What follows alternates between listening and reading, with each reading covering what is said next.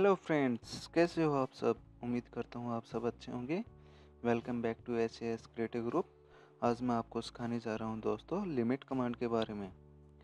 तो हमें auto CAD के अंदर लिमिट कमांड का क्यों यूज़ करना होता है दोस्तों? वो इसलिए क्योंकि हमारी जो ऑटो कैड में ड्राइंग सीट होती है, उसका साइज़ अनलिमिटेड होता है। ओके फ्रेंड्स तो फॉर एग्जांपल जैसे मैं आपको दिखाता हूँ, यहाँ पर एक ड्राइंग ओपन की हुई है मैंने। जैसे आप देख रहे हो, यहाँ पर आपके सामने ब्लू बॉक्स में। तो इसके अंदर जैसे आप देख रहे हो, इसकी जो हाइट है वो हंड्रेड सेंटीमीटर है और जो विड्थ है दोस्तों, वो है हंड्रेड सेंटीमीटर तो जैसे हमें ये ड्राइंग मैक्सिमम जो विड्थ और हाइट है इस ड्राइंग में हंड्रेड है। तो हमें इसके लिए जो ड्राइंग सीट का एरिया होता है, वो क्या चाहिए है दोस्तों, वो लगभग मिनिमम हंड्रेड विड्थ और हंड्रेड हाइट सी होती है। अब जैसे कि मुझे मान लिया दोस्तों, एक लाइन ड्रॉ करनी है और वो करनी है ज़ीरो पॉइंट ज़ीरो फाइव की। तो एक लाइन ड्रा करता हूँ, ज़ीरो पॉइंट ज़ीरो फाइव की और एस्केप करता हूँ फ्रेंड्स। तो जैसे आप देख रहे होगे, यहाँ पर वो लाइन बिल्कुल डॉट में दिखाई दे रही है। वो इसलिए दोस्तों, क्योंकि मैंने जो यहाँ पर ड्राइंग की लिमिट सेट कर रखी है, वो इस ड्राइंग के हिसाब से सेट कर रखी है, क्योंकि इसमें मुझे मिनिमम 100 हाइट और 100 वेट चाहिए थी तो मैंने इसके हिसाब से ड्राइंग लिमिट सेट कर दी। और जैसे कि मुझे अगर ड्राइंग छोटी बनानी है, जैसे 0.05 के हिसाब से तो मैं उसी हिसाब से हम मेरी ड्राइंग की लिमिट सेट करूँगा।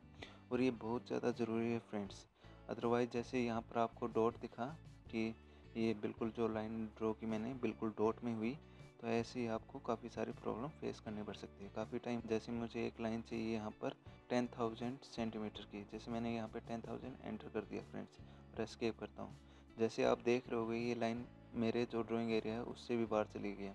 वो किस लिए दोस्तों? क्योंकि हम, मैंने लिमिट ही, मैंने इस ड्राइंग के हिसाब से सेट कर रखी है। ओके फ्रेंड्स तो हमारी लिमिट्स कमांड जो है वो बहुत ही इम्पोर्टेंट है, इसी वजह से।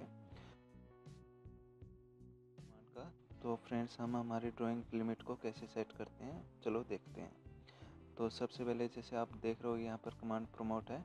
हमारे पास दो मेथड है। या तो चाहे हम यहाँ पर डायरेक्ट लिमिट्स लिखकर एंटर कर सकते हैं, या हम डायरेक्ट स्क्रीन के ऊपर जैसे कर्सर हमारा तो यहाँ पर ही direct limits L I M I T S लिखेंगे और एंटर करेंगे। तो उसके बाद जब हम लिमिट कमांड एंटर करते हैं तो हमसे ये पूछता है कि स्पेसिफाई लोअर लेफ़्ट कॉर्नर ऐसे ये यहाँ पर भी पूछ रहा फ्रेंड्स जैसे स्पेसिफाई लोअर लेफ़्ट कॉर्नर और यहाँ पर जो zero point zero zero comma zero point zero ये दिखा रखे हैं ये दोस्तों एक्चुअल में एक्स वाई कोऑर्डिनेट है। ये जो फ़र्स्ट डिजिट है ज़ीरो ये एक्स के लिए है और ये जो सेकंड है, ये है वाई के लिए। ओके फ्रेंड्स तो जैसे आप देख रहे हो यहाँ पर हमें पूछ रहा है कि लोअर लेफ़्ट कॉर्नर स्पेसिफाई करो।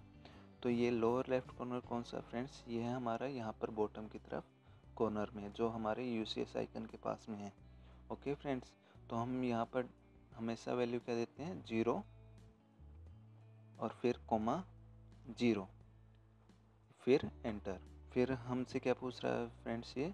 ये पूछ रहा है अपर राइट कॉर्नर तो हमारा अपर राइट कॉर्नर कौन सा हुआ? हमारा अपर राइट कॉर्नर हुआ यहाँ पर ऊपर की तरफ़। व्यू क्यूब के ऊपर। ओके फ्रेंड्स तो हम, हमें जैसे मान लिया अब हमारी जो ड्राइंग थी वो हंड्रेड बाई हंड्रेड में बनी है।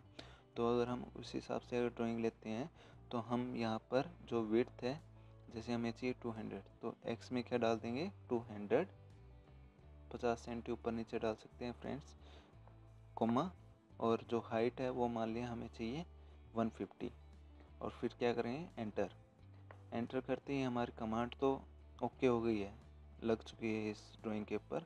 बट अभी जो हमारा डिफ़ॉल्ट जो एरिया है वो पहले वाला ही है. तो इसको बिल्कुल सेट करने के लिए हम क्या करेंगे?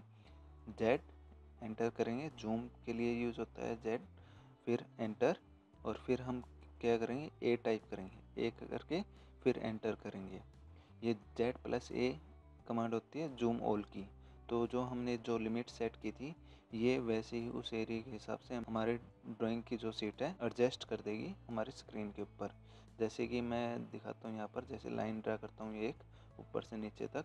जैसे मैंने 150 के करीब हाइट दी थी तो आप यहाँ पर देख सकते हो ये लगभग 144 है, जो कि लगभग 150 के करीब ही है फ्रेंड्स और जो इसकी विड्थ है, वो जैसे मैं यहाँ पर यहाँ तक दिखाता हूँ, ये 381 ली है। मगर हमने तो दी थी 251 ये डिफरेंस इसलिए दिखा रहा है दोस्तों, क्योंकि हमारी जो एलसीडी होती है, उसका स्क्रीन रेजोल्यूशन अलग अलग होता है। कईयों की विर्थ अलग होती है। जैसे मेरा लैपटॉप है तो इसकी विर्थ अलग है और कई एलसीडी छोटी होती है तो उनकी विर्थ कम होती है। तो ये उस हिसाब से यहाँ पर ये विर्थ लेता है स्क्रीन के रेजोल्यूशन के हिसाब से। ओके फ्रेंड्स तो हम ऐसे लिमिट्स कमांड को सेट करेंगे। अब जैसे मैं यहाँ पर कोई भी लाइन लेता हूँ, जैसे मान ली मुझे चाहिए थी वन फोर्टी की लाइन चाहिए एंटर करेंगे एस्केप करेंगे। जैसे ये यहाँ पर स्टार्ट है और एंडिंग यहाँ पर है। ओके फ्रेंड्स तो हम इस तरह से हमारी लिमिट्स कमांड को सेट कर सकते हैं हमारी ड्राइंग के अंदर।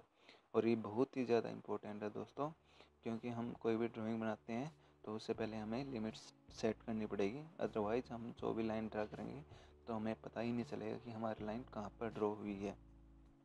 और सबसे ज़्यादा इम्पोर्टेंट क्या है, अगर हम हमारी लिमिट सेट करते हैं और हम कहीं पर जैसे जूम इन करते हैं, कोई भी लाइन ड्रा की और फिर जूम इन कर दिया बाई चांस और फिर हमें वो लाइन मिल नहीं रही ऐसे तो हम डायरेक्ट क्या करेंगे? जेड स्पेस ए स्पेस तो ये हमारा जो ड्राइंग एरिया वो डिस्प्ले कर देगा। और वो जो हमने ड्रा की है लाइन वो ऑटोमेटिकली शो हो जाएगी हमारे ड्राइंग के ऊपर। ओके फ्रेंड्स आई होप आपको ये वीडियो समझ में आई होगी। Thank you for watching my video और मेरे चैनल को सब्सक्राइब करना मत भूलें। Okay friends bye ta-ta take care bye और वीडियो को लाइक ज़रूर करें। Bye ta-ta.